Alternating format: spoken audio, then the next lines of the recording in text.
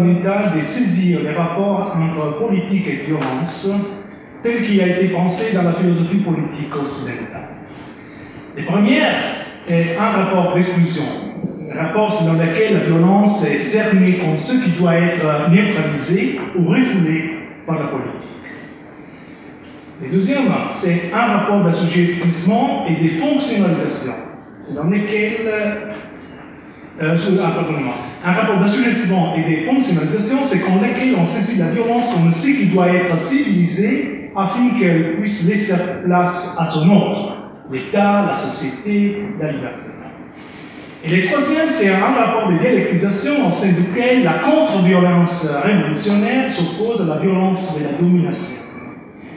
Il s'agit des modalités qu'on peut considérer, à beaucoup d'égards, euh, ancêtres déposés par les auteurs classiques de la philosophie politique occidentale. Parmi ceux-ci, il y a la ligne Weber Schmidt, celle qui dessine les monopoles de la décision et de la violence légitime comme détermination d'indécidabilité de la crise et comme neutralisation du conflit dans les périmètres de validité de la souveraineté, la ligne des Hobbes et de toute la tradition juridique de la machine disciplinaire du sujet, où la violence et les passions tristes, la peur et la crainte sont mises en œuvre afin de dresser la nature féroce de l'homme et d'obtenir, par l'assujettissement au dispositif de l'égalité, une individualité responsable et propriétaire de la bête indomptable face à laquelle se dissout toute l'anthropologie classique au début de l'époque bourgeoise. Euh, cependant, je voudrais plutôt m'attarder aujourd'hui sur une autre modalité. Une modalité selon laquelle le rapport entre les violences et les droits est posé, presque dédié, s'illuminant ainsi d'une lumière autre. Pour le faire, je partirai d'un texte, d'un autre texte classique, à savoir sur critique de.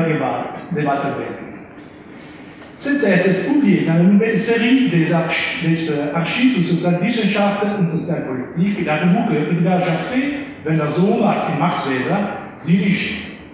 Il s'agit d'un texte difficile qui suscitait beaucoup d'interprétations assez prêtes à plusieurs utilisations. Il s'agit d'un texte valorisé déjà par Schmitt qui, avant sa conversion au nazisme, y retrouvait un certain nombre d'assonances avec sa pensée juridique. Benjamin énonce d'emblée les coordonnées qui encadrent le barycentre de notre discussion d'aujourd'hui. On peut redéfinir la tâche d'une critique de la violence comme l'exposé du rapport qu'elle entretient avec le droit et la justice. Die Aufgabe einer Kritik der Gewalt lässt sich als die Darstellung ihres Verhältnisses zu Recht umschreiben. Ce que Benjamin entendait par critique ne va pas de soi. Cependant, on ne peut pas euh, chercher mobiles dans le ciel vide de la morale. En l'occurrence, le terme de critique accompagne celui de Darstellung. La critique coïncide avec la représentation, ou selon la terminologie de la Kennskritische Freude à l'Unflug de Deutschen Trauerspiel, et la coïncide avec la mise en tension du rapport entre violence et droit dans ce qu'il définit comme style philosophique. Selon Benjamin, les philosophes doivent prendre soin de la représentation. Cela veut dire qu'il ne doit pas déduire de façon mécanique, mais composer. Il ne doit pas céder à la fragmentation, mais doit développer son argumentation avec ordre et mesure. Elle ne doit pas s'abandonner à la négation simple, ce que j'appelle rhétorique de la morale, mais évoquer contre cela la plénitude d'une positivité dense, du fil de getrennte positivité. Critiquer la violence ici ne signifie pas s'ériger dans la position de survol dans laquelle se retire l'ironisme de la philosophie, ni raccourcir les termes de la confrontation avec elle par une profession consolatrice de non-violence. Eh bien, je crois que critique signifie en l'occurrence rechercher et fixer un critère pour la critique de la violence qui permet de recueillir la positivité dense de l'expérience sous la loupe d'une écriture philosophique capable de repérer dans la systématicité de sa propre Darstellung les pas vers une prise de position, une scheidende, une entscheidende Einstellung, écrira plus loin capable de feindre la circularité de la routine qui est propre au rapport entre violence et toi, exclusion, dialectisation fonctionnelle, opposition, et de nous mettre en face, de nous mettre face à cette routine à partir de la perspective qu'il a déconstruite. Il est notoire que cette perspective est, chez Benjamin, celle de la philosophie de l'histoire.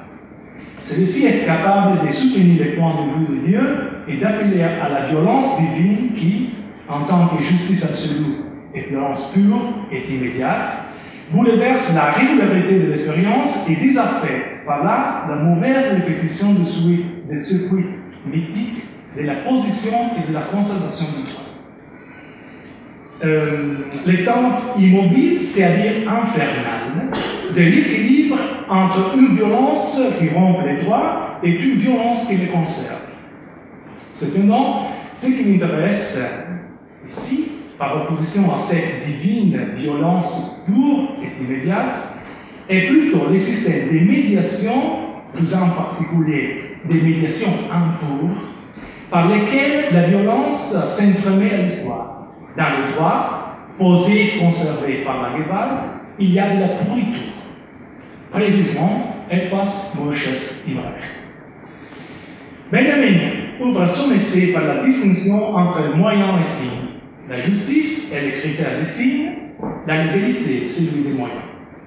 Du point de vue philosophique, le royaume des fins est indécidable et l'aporie du droit naturel, adressant la moyen, la moyen à la safra, consiste à ne pas pouvoir fournir des éléments utiles pour l'analyse et pour la critique de la positivité de la violence, qui est traduit en élément instrumental du droit. Dans son On Violence, Hannah Arendt soutiendra cette même position. La violence s'illustre par un instrument de caractère et par là elle se différencie du pouvoir, power, qui affaire en revanche à l'action des concerts et par conséquent au fil de l'action. Arendt dissout ainsi, c'est-à-dire par les biais d'une opération de traduction dont il est capable par la métabolisation linguistique de l'exil, l'ambivalence sémantique du terme allemand Gewalt, qui traduit tantôt pouvoir, tantôt violence. En revanche, la critique de Benjamin s'attarde exactement sur les manières dont les pouvoirs et la violence se renvoient mutuellement l'un à l'autre et se courent après dans les circuits des moyens sans fin sur la médiation juridique, sur les tentatives de bridage et de normalisation de la violence dans l'ordre juridique en tant qu'espace de neutralisation et de routinisation aussi bien de la violence que du pouvoir. Les droits s'interroge sur la légalité des moyens et ferme la série de normes en traçant la limite qui sépare la positivité effective la force des lois et de la justice. La prémisse de Benjamin, dans un texte qui est publié non par hasard dans le revue dont la nouvelle série était fondée par Max Weber, assure les noyaux durs de la théorie du droit qu'en dépit des critiques qui porte lui-même au Staatsbegriff der Verstehen der Soziologie, Hans Kessen, du grand sociologue allemand. Benjamin affirme qu'il est un principe universel du droit en vigueur que les finalités individuelles entrent en collision avec les fonds du droit lorsqu'on les poursuit avec violence. On pourrait dire que la loi orthopédise les systèmes de fonds, affaiblissant et traçant les films d'action individuelles et les comptabilise dans la sphère et les circonscrite autour d'elle. La, métaphore de la sphère est décidée. Et qui produit et reproduit l'égalité des privés à fur et à mesure qu'il les assujettit toutes de la même façon au treizième état juridique dans lequel est formalisée la liberté de leur mobile d'action. La loi gèle une séparation et une équidistance radiale parmi les, singularités. Afin que cela soit possible, il faut que les transcendentales de la forme juridique se centrent sur la décision et sur les monopoles de la violence des qu'ils méconnaissent les textes de débat, car ceux-ci ne seront publiés que plus tard, Benjamin, qui rendait régulièrement les, visites à sa veuve à Heidelberg, inaugure son essai par une référence évidente à la sociologie weberienne. Cite, je cite, l'intérêt du droit à monopoliser la violence, das Interesse des Rechts an der Monopolisierung der Gewalt, écrit-il, ne se laisse pas expliquer par l'intention de sauvegarder les fins du droit, mais par la volonté de sauvegarder les droits lui-même. Das Recht selbst zu wahren. Les choses étant ainsi, les droits et la violence semblent alliés par un destin commun. Ou mieux, les monopoles étatiques de la violence légitime est ce qui est nécessaire non seulement pour réaliser la compossibilité des fonds privés au sein de la, au sein de l'aspect du droit, c'est-à-dire pour exclure les conflits et la violence parmi les individus, mais aussi pour poser et conserver la possibilité même du droit. Sans la violence, droits ne pourraient pas s'imposer sa rationalité générale sur les systèmes indécidables des fins individuelles, et encore moins lorsque celles-ci sont transcrites en des droits ou des prétentions légitimes parce qu'elles conforment au droit. La violence, lorsqu'elle ne possède pas le droit en vigueur, vous nicht in den Händen des jeweiligen Rechtes constitue pour les droits un risque et une menace des femmes. C'est là, non pas les films qu'elle poursuit, on pourrait dire par sa qualité intrinsique au sous-potentiel démoniaque, mais, je cite, simplement par sa seule existence en dehors du droit, sondern durch ihr bloßes Dasein außerhalb des Rechts. La violence constitue une menace et un risque pour les droits lorsqu'elle demeure externe à son circuit, lorsqu'elle résiste à la formalisation, non pas comme un reste, mais comme une positivité, et lorsqu'elle n'est pas convertie par conséquent par le même droit, et un moyen pour la conservation de l'ordre juridique est monopolisé par les appareils d'État, par les appareils Selon Benjamin, le cas concret d'une positivité de ce genre est la violence de la classe ouvrière. Celle-ci ne constitue pas un moyen pour imposer une volonté, pour réaliser une fin ou s'approprier un objet quelconque. S'il était ainsi, les droits n'auraient aucun souci à les sanctionner. La menace que la grève générale prolétarienne constitue par les, pour les Benjamin reprend et valorise ainsi la distinction des oreilles entre la grève générale politique, interne au système d'organisation représentative et parlementaire, et la grève générale prolétarienne, comme rupture radicale dans tel système de médiation. Euh, la menace que la grève générale prolétarienne constitue pour les droits est l'effet que la Gewalt, qui s'exprime en lui, est capable de fondre et de modifier de façon, de façon catastrophique les rapports juridiques, mettant en lumière exactement la donne que les régularités du droit tendent à mystifier et à cacher. La violence est l'élément originaire posé par le droit. Benjamin, Benjamin Dastan, par conséquent, deux fonctions de la violence. La violence qui pose les droits, direct, c'est et la violence qui les conserve, direct, sera Origine et répétition, puissance archétypique et mimesis. Mais pas seulement cela. S'il est vrai que les droits d'homme, du moins en ce qui concerne les droits modernes, sur l'abîme de sa genèse, non sur les non-formalités du chaos, mais sur l'affaire de lance du pouvoir constituant révolutionnaire, il est aussi vrai que les droits conservent un droit à la violence dans son, indisponible droit de contraire. S'éloignant de son origine, autrement mieux, éloignant cibles autant que possible de celle que Carl Schmitt appelle la couche engourdie de la répétition de ces procédures, les droits ne refroidissent pas les moyens incandescents du pouvoir violence autour duquel gravite tout son système. La violence est la menace permanente du pouvoir sur laquelle repose l'institution du droit, das Drohen, comme l'appelle Benjamin, par le biais d'une substantivation radicale. Ce point est crucial.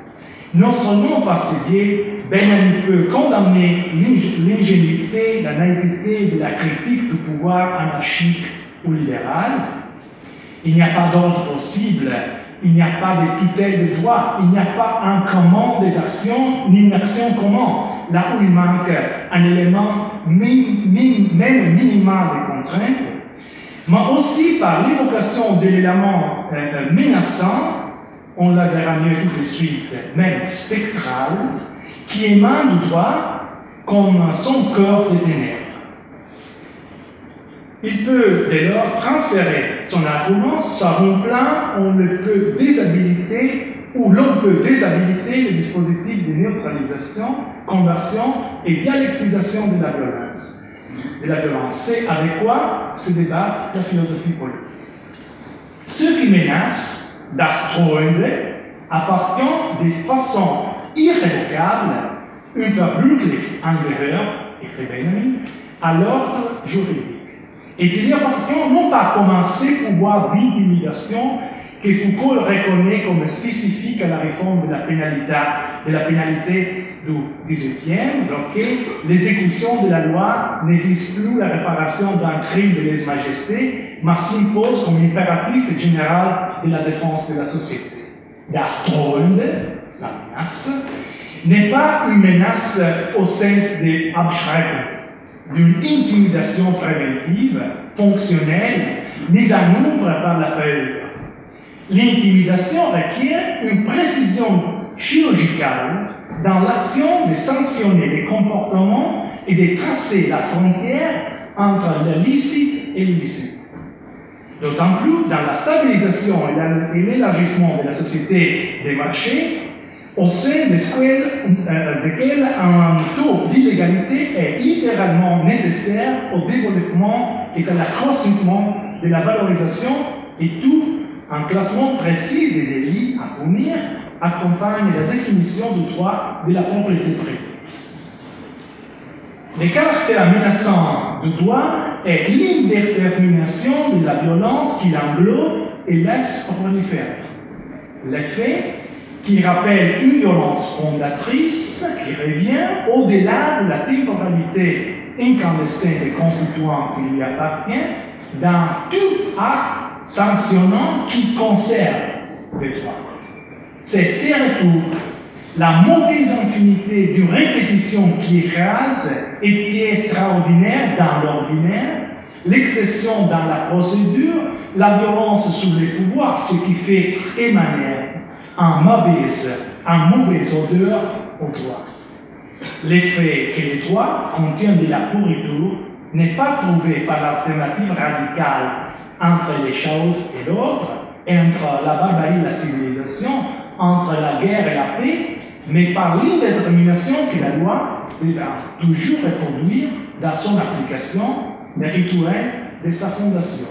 laisse subsister parmi ces alternatives. Benjamin se réfère à la peine de mort. Qu'il me soit permis de rappeler un texte célèbre où cette même dialectique entre ordinaire et extraordinaire, entre théologie politique de la violence fondatrice et immanence radicale de la conservation, la mauvaise odeur dont j'ai parlé tout à l'heure devient perceptible avec encore plus d'évidence que celle que dans son article important, Michel Perrault reconnaissait Manet d'où les libéralisme du XIXe siècle.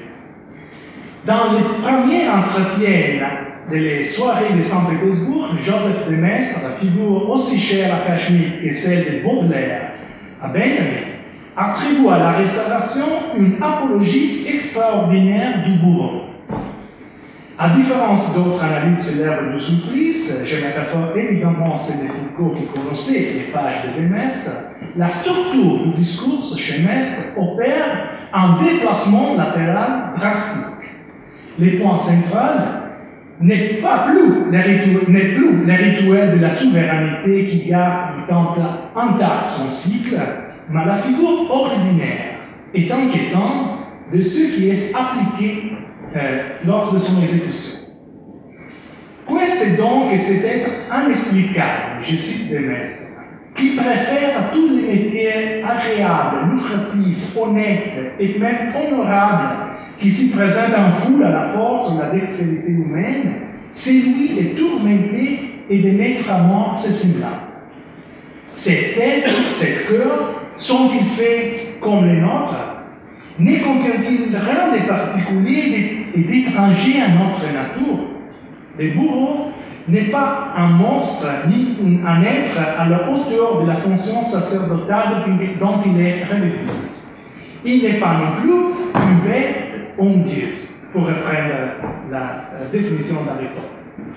Les bourreaux remplissent une fonction fondamentale pour la conservation de l'espace public et social auquel il appartient et qu'il partage littéralement euh, les quotidiens. Miracle de la souveraineté, il est créé comme monde, écrit Maîtres. Afin qu'un homme devienne un bourreau, il faut une fillette de la même toute-puissance divine qui a tiré le monde du néant. Cependant, ce charisme est intégralement euh, euh, routinisé. Dès que le massacre de l'échafaud est terminé, ce massacre que Maître décrit avec la méticulosité du maniaque, le bourreau euh, reçoit son salaire et rentre à la maison. Il mange et se couche pour se réveiller le lendemain sans se souvenir de ce qu'il a fait la veille l'ordinaire du bourreau, celui où la mort mise littéralement au travail, son accomplissement d'une mission, où nous le verrons, sacrée, mais répugnante pour ses concitoyens qui lisent et les mettent en la marge de la ville, n'est que côtés de la régularité de ceux qui existent avant et qui se recomposent après les supplices. Les bourreaux est en même temps, écrit les maîtres, l'horreur et les liens de l'association humaine la figure de l'extraordinaire de l'exception, qui répète à euh, les gestes fondateurs du droit, on peut dire littéralement avec euh, hein, la décision, la coupe, et qui permet ainsi la conservation de la société par un cycle répressif que Mestre assume comme nécessaire, compte tenu du fait que l'histoire, les cercles temporels de la politique, coïncide avec la propagation du mal. Ce qui est imposé par le décalage, le décalage entre intimidation et menace et qui évoque das Drohung au corps du droit devient manifeste chez Mestre.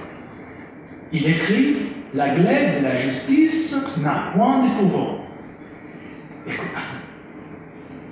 Et que les suppliciés ne s'évoquent pas à ranger la lèse-majesté du souverain. Ce qui est en jeu dans la peine de mort est quelque chose qui excède les codes binaires de la régularité juridique et sa récomposition par l'abstention du crime. L'épée du bourreau ne frappe pas dans l'exception. Elle est toujours dégainée puisqu'il faut, au-delà du fait de frapper, qu'elle reste une menace permanente. Pour Maître, il est évident que personne n'est innocent. Cela parce que la péché originel, la désobéissance au Dieu pensée comme archétype du souverain absolu et irrésistible, introduit dans la création une dissonance indépassable. L'impunité du crime et la mise à mort d'un innocent sont des données rélévantes, expéditivement résolues dans les termes d'un résidu infinitésimal, face à la nécessité et à la continuité nécessaire de l'action d'une souveraineté transcrite dans un pouvoir pour accomplir. Knut, Gilbert, Roux, Bûcher sont les moyens par lesquels l'action conservatrice de Dieu est sur la terre. Le droit se propage et remet au-dessus impénétrable de la providence une sociabilité corrompue et malade, science épidante et de façon inévitable à celle-ci. Un peu, un peu comme dans cette forme archaïque de, supplice dont Virgile attribue l'invention à Mézès et Valère Maxime en revanche aux Étrusques et qui fut appliqué en moins une fois à Rome, notamment aux prisonniers carthaginois par le veuve d'Attilus Regnum, sa fille de venger son mari, dans laquelle l'accusé était lié à un cadavre en décomposition, face à face, bouche à bouche, les destinant ainsi à une mort atroce.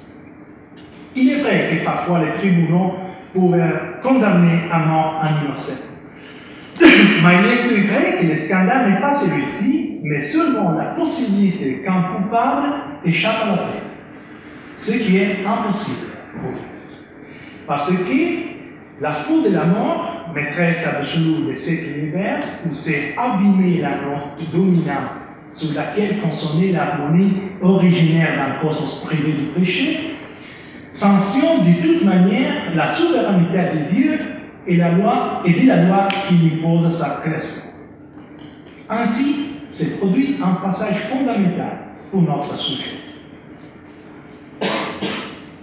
Dans les rapports entre Gewalt et droit, ne se stabilise pas seulement un acte de souveraineté, à savoir celui qui dialectise les rapports entre barbarie et civilisation, entre guerre et paix ou entre chaos et L'acte constituant de la violence souveraine est amorti par la répétition circulaire d'une administration pour de la paix. Le mélange presque spectral de la violence qui pose le droit et de la violence qui les conserve par les pouvoirs discrétionnaires de l'action ordinaire et microphysique des pouvoirs de la police est précisément c'est doucement l'odeur de pourriture du droit. L'aspect un milieu das Schmackswohle, de cet appareil réside, selon l'ennemi, dans les caractères ordinaires d'un pouvoir qui ne doit pas exposer ses titres de légitimité, puisque la débat qu'il emploie ne produit pas de droit, marot dans l'ombre de l'ordre juridique même, lorsque son action tend à forcer les limites et la normalité se fait ainsi par la redéfinition continue des taux minimaux d'exception comme cadre de son action. L'action de la police se caractérise par une élément discrétionnaire qui contamine des prérogatives presque souveraines et des compétences technico-procédurelles mises au service du pouvoir légitime. La police intervient dans les lacunes et les marges internes de l'ordre judiciaire et le maintient en le gouvernement. C'est-à-dire Lorsque l'État ne se montre plus capable d'atteindre ses finalités par les biais des lois qu'il a édictées, et lorsque donc seul un système d'ordonnance et de règlement, mélangé de l'oppression et de la surveillance acharnée, est capable de réduire la distance entre les finalités générales du droit et leur réalisation, empirique. Si les bourreaux et les liens horrifiants de culte de la société, comme les semestres, les policiers, les flics, les commissaires sont les camps du débordement du pouvoir face au droit et son glissement dans l'action quasi constituante et quasi souveraine des appareils techniques, hein, s'il faut le remarquer, post-représentatifs et post-démocratiques d'un contre l'autorité globale de l'administration. Spectre libéré de la décomposition des figures classiques de la démocratie, effet de vérité de la déconstitutionnalisation du pouvoir de son investissement dans, les appareils exécutifs de l'administration. Il est notoire que la police est un des termes fondamentaux de la politique et non pas seulement une force de la sécurité publique. Police est la traduction du grec ancien politia. Les systèmes des savoirs et d'institutions qui assurent la conservation de l'ordre politique. Eh bien, c'est par ces systèmes de savoirs et d'institutions que Michel Foucault reconstruit une partie significative de la généalogie de la gouvernementalité libérale. Tout en ne voulant pas traiter spécifiquement de l'analyse Foucauldienne aujourd'hui, je ne peux pas m'empêcher de remarquer que sa référence à des pouvoirs tels que celui de la police, de la police me paraît très intéressant pour au moins trois raisons. La première est la façon dont il a reconduit les formes du gouvernement contemporain, seulement partiellement annexé, monopolisé quant à leur contrôle par les formes étatiques de la souveraineté, à un dispositif de pouvoir beaucoup plus ancien et tendanciellement permanent par rapport à la vraie durée de l'histoire constitutionnelle de l'État moderne. La deuxième est la matrice commissaire exécutive liée à la microphysique des étés d'exception minimum dont j'ai parlé tout à l'heure des pouvoirs de police. Et la troisième, la dernière, sont la tendance de ceux-ci à se répandre, à s'imposer comme des autorités quasi-constituantes, quasi-administratives souveraines, même si dans la technicisation radicale de la politique néolibérale contemporaine, elles ne sont légitimées par aucune procédure démocratique. Mais ce n'est pas Foucault que je voudrais convoquer, texte publié la même année que ce critique de Geval de Benjamin, et qui essaie dans ce qu'elle s'en souvient, des de Carl Schmitt. Il est notoire que Schmitt il reconstruit la dictature comme institution juridique et en particulier comme la figure se connectent trois instances fondamentales dans la constitution de l'État moderne. Rationalisme, technicité et primat de l'exécutif.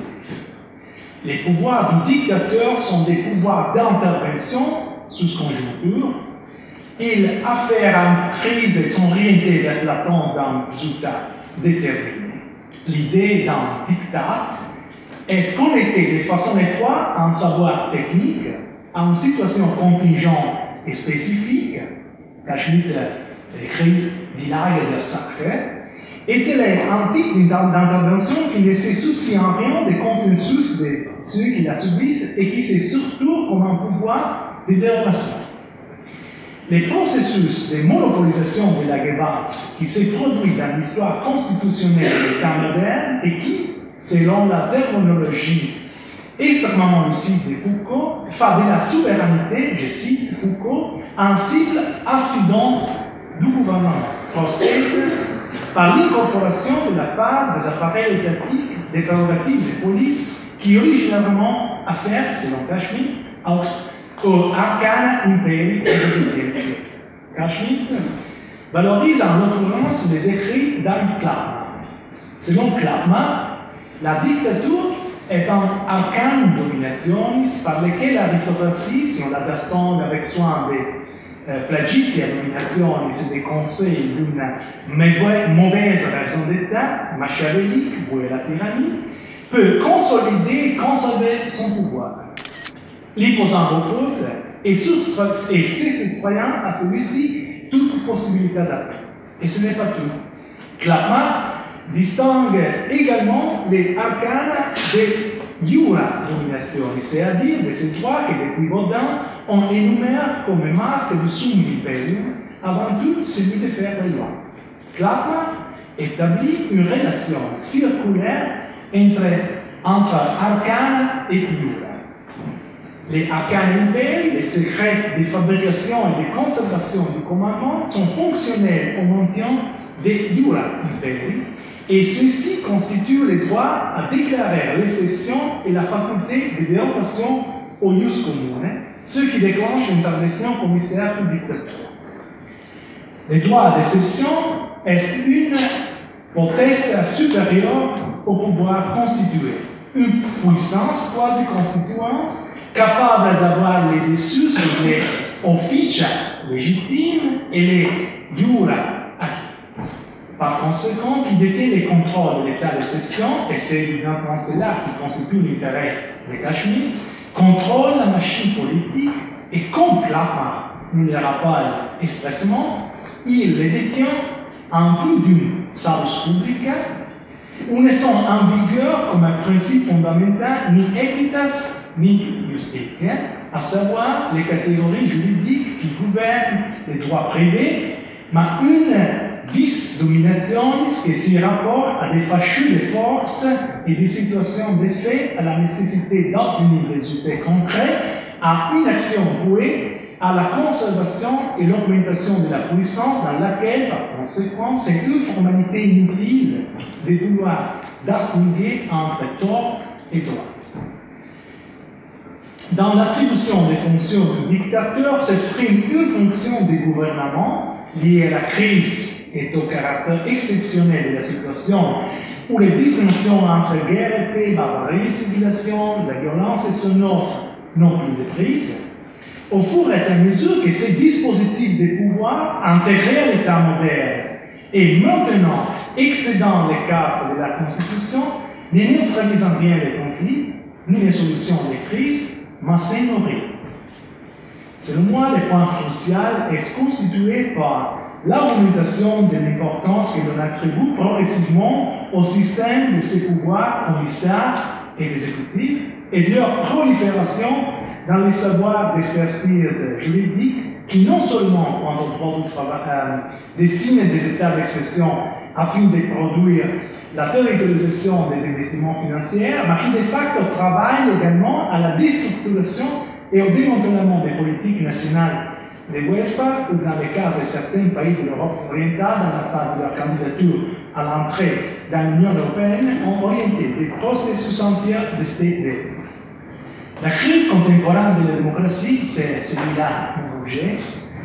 Expropriation de la souveraineté populaire, méfiance envers les partis et la représentativité politique, son écrasement par des pouvoirs techniques euh, commissaires et non électifs, ce qu'on appelle la gouvernance dans la politologie contemporaine, fait en même temps la diffusion des savoirs imperceptibles et des pouvoirs des polices et leur pouvoir et leur pouvoir quasi constituant. Comme l'expliquait Jürgen Klauber dans la Frankfurter Allgemeine Zeitung euh, des le match entre les souverains et les commissaires s'ouvre à nouveau dans la crise financière qui se relance entre l'éclatement d'une boule spéculative et l'autre, au fur et à mesure que les profits se ferment et consenser les rôles s'inversent. Souverainiste vers de Normalzustand financier, écrivait Klauber un été de normalité produit fond par, la, par des continuités et par la régularité de la même crise. Ceci me fait revenir au test de. Un passage qui s'accomplit de façon analogue au commentaire de sous-critique de Guevara par Jacques Derrida, la spectralité de la guerre policière dérive certainement d'un manque d'aura de gloire, de la gloire qui incombe au souverain. On pourrait appeler à nouveau la Ursprung des deutschen Trauerspiele, le lieu où Benjamin, suivant une terminologie extrêmement proche de celle de Schmitt, dit à propos du souverain baroque qui tient en main l'avenir comme sait. Euh, la spécialité de la guerre policière euh, dérive certainement d'un manque de droit de gloire qui incombe au souverain, et elle dérive surtout de sa tendance à se répandre partout? La police intervient par des raisons de sécurité. Parfois, lorsque le cadre juridique n'est pas élucidé, vaut keine klare Rechtslage vorliegt, mêlant son action avec des fonctions qui sont à la fois rechtssetzende et rechtserhaltende, constituant des conservatrices. Son pouvoir s'accroît sur la marge de l'indétermination et prolifère dans la crise de la Constitution en tant que cadre organisé de la séparation des pouvoirs. Son pouvoir est fort, tout comme sa présence spectrale et diffuse se répand dans la vie des États civilisés, écrivait. Seine Gewalt ist gestalt wie seine Lebenswasser, allverbreitete, gespenstete Erscheinung im Leben der zivilisierten Staaten. Im Leben der zivilisierten Staaten. Präzisement. non pas comme une forme de leur institution et donc de la neutralisation de l'exclusion de la violence. La police, en tant que dispositif des institutions commissaires et techniques du pouvoir, représente un supplément interne de la violence qui agit comme un régulateur de la gouvernementalité libérale et du travail des juridifications des rapports d'échange soustraits aux formes du contrôle démocratique. Elle organise l'accumulation de la rente par laquelle le capitalisme financier vampirise la vie, les relations et toute la coopération sociale. Elle filtre, hiérarchise et immobilise le mouvement de la force de travail global. Elle déstructure les compromis entre le capital et le travail qui se détruit dans les formes du welfare et impose la dette comme stratégie de contrôle flexible et permanente. Tout comme l'avait cerné avec une lucidité étrange de qui disait que l'homme n'est plus l'homme enfermé, mais l'homme endetté.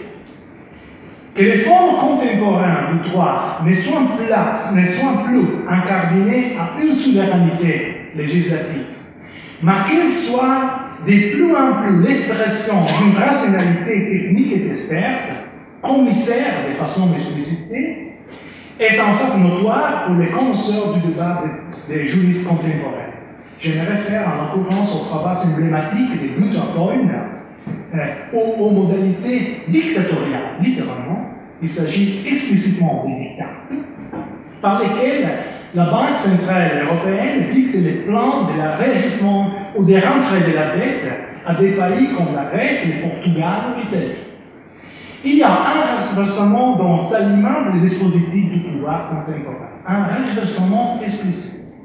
Leur caractère spectral ne dérive pas simplement de l'affaire Michel, d'une violence constituante, c'est-à-dire une violence qui constitue des rapports juridiques de façon indépendante du contrôle démocratique, et d'une violence conservatrice, une violence qui conserve les rapports de force dont ils sont mêlés ni seulement des caractères insaisissables à informer les diffuses de son action dans l'espace global.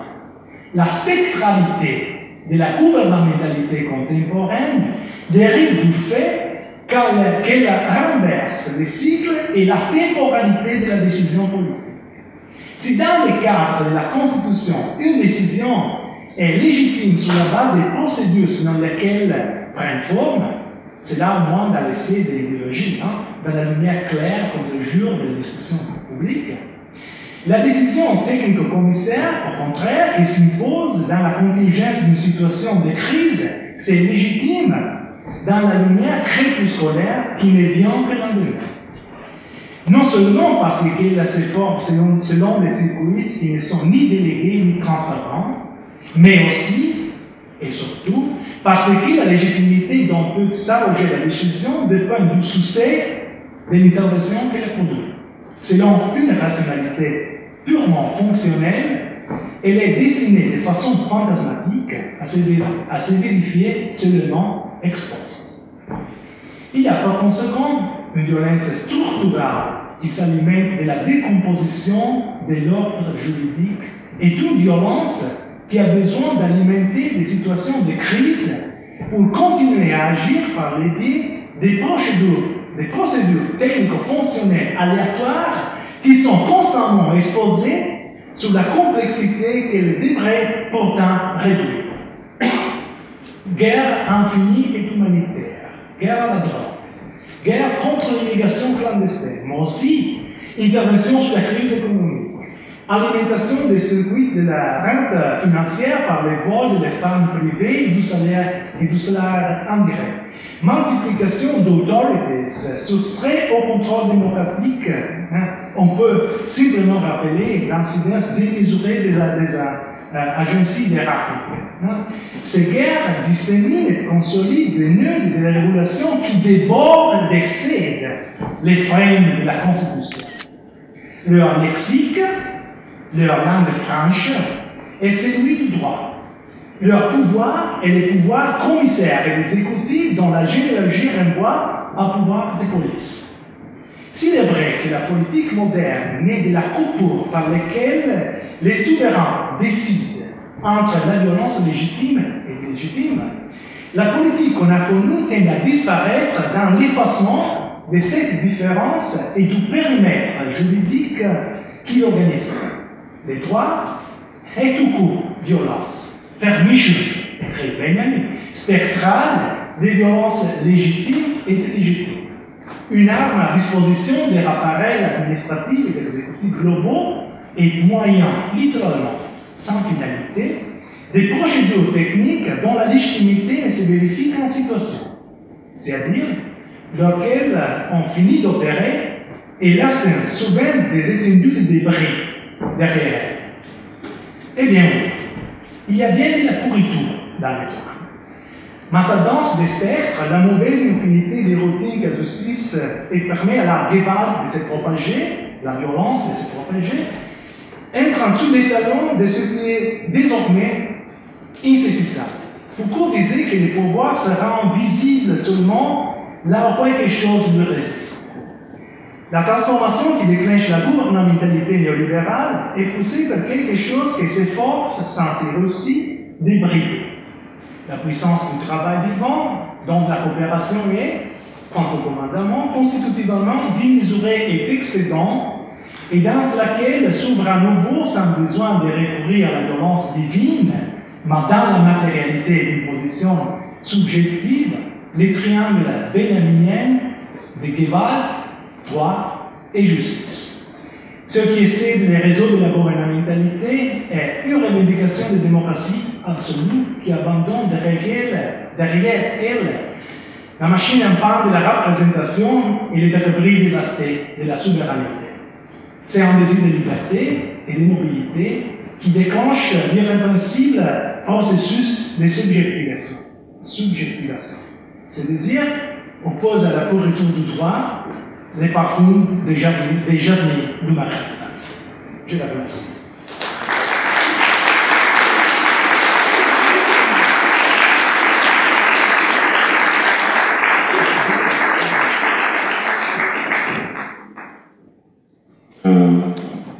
Merci beaucoup, Sandro. Merci Euh, beaucoup conférence. pour la patience. Passionnant. Et je vous, voilà, on a les temps 5-10 minutes hein, pour quelques questions. Questions peuvent être posées en français, en allemand, en anglais, en italien et espagnol, hein, si nécessaire. Voilà.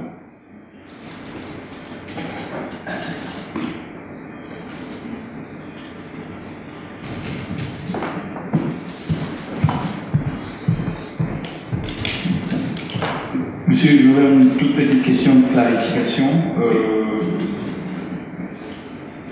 cette expression monopolisation euh, de la violence, de la Gewalt par euh, les institutions juridiques, qu'est-ce que ça veut dire cette expression monopolisation? Je me pose tout simplement la question parce que si effectivement il y avait une contre euh, violence qui s'opposait, disons, euh, aux institutions juridiques, et l'apparence de l'opération de ces institutions, ça ressemblerait plutôt à cette expression, pour utiliser l'expression de Habermas, de, de zwang, c'est-à-dire euh, des meilleures raisons, c'est-à-dire en français, ça serait la contrainte non contraignante des des meilleures raisons. Alors, Qu'est-ce que ça veut dire monopole de la violence Est-ce qu'il n'y a pas. Est-ce que la violence nous traverse euh, en toutes les dimensions de la société Question clarification, merci. Marco, tu dici tu? Sono stanco.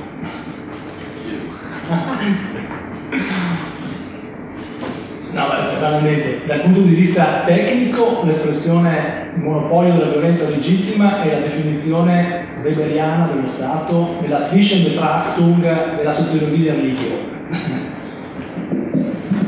Du point de vue complètement technique, tout le monde a compris, euh, c'est la définition que Max Weber donne de, La Zwischenbetrachtung della sociologia der Religion. No. Però da un punto di vista più, più generale io credo che questo del monopolio della violenza legittima sia, eh, diciamo così, eh, l'architrave fondamentale della storia costituzionale dello Stato moderno da Hobbes a Weber. D'un autre point de vue, euh, ce monopole légitime de la violence peut être considéré comme l'axe fondamental du développement de la pensée politique moderne.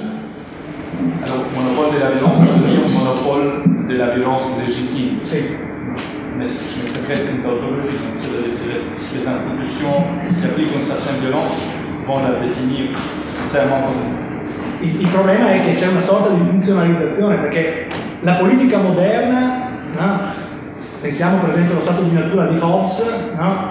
che è il corrispettivo diciamo così, di una situazione di politeismo dei valori come lo pensa Weber, no? Eh, il- diciamo così, l'origine della politica moderna è appunto un conflitto indeterminato, no? che è un conflitto indeterminato e violento. Il problema è che lo Stato moderno, nella tradizione da Hobbes a Weber, eh, si pone il problema di come risolvere questa situazione di conflittualità, monopolizzando appunto la violenza ed ascrivendo legittimità soltanto alla violenza degli apparati dello Stato. Mm? Non so se traduire. Je vais- J'ai pu essayer de le dire en français, mais disons que sur cet axe hein, va de Hobbes à, à Weber, euh, l'état de nature, euh, comme il est pensé, est pensé comme un état de conflit dont l'État doit euh, trouver une solution pacificatrice. Qual è il problema? No? Che questa figura dello Stato moderno no, ha a che fare appunto con una nozione di legittimità, che è una legittimità di tipo rappresentativo, cioè lo Stato è il monopolio della violenza legittima, perché chi è sovrano, cioè in qualche modo il popolo, attraverso i propri rappresentanti fa le leggi e le rende esecutive. Alors, le problème, c'est que euh, l'État moderne se base sur la représentation. Et donc, les représentants sont ceux qui euh, bah, sont autorisés à euh, paix. E allora in qualche modo è molto chiaro il discrimine fra la violenza legittima e la violenza che legittima non è. Mm? Io credo che però questo codice binario di separazione sia entrato in crisi insieme con le istituzioni rappresentative e che quindi, come dire, c'è una sorta di diffusione no? in qualche modo di violenza e dunque di decisione, in qualche modo eh, ibrida fra legittimità e legittimità dentro le istituzioni post-rappresentative contemporanee.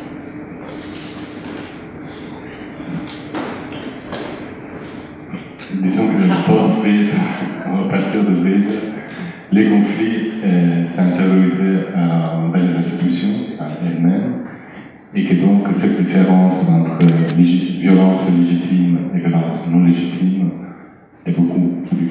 euh, C'est animé, c'est animé. Animé. Nous avons des, des- des procédures, des décisions techniques hein, qui sont euh, remarquables et qui ne sont investies de- d'aucune légitimité selon le schéma de, de l'État constitutionnel moderne. hein. Ils sont des pouvoirs techniciens, commissaires, euh, euh, pas électifs, hein, euh, qui décident et qui agissent selon la pour en détermination entre la violence légitime et la violence illégitime. Je crois. Merci. On a le temps pour une autre question. Quelqu'un veut la poser? C'est le temps d'une pause. Sinon, on fait une pause. hein, on fait une pause de 5 minutes maximum et on se retrouve ici. Jens, à quelle heure?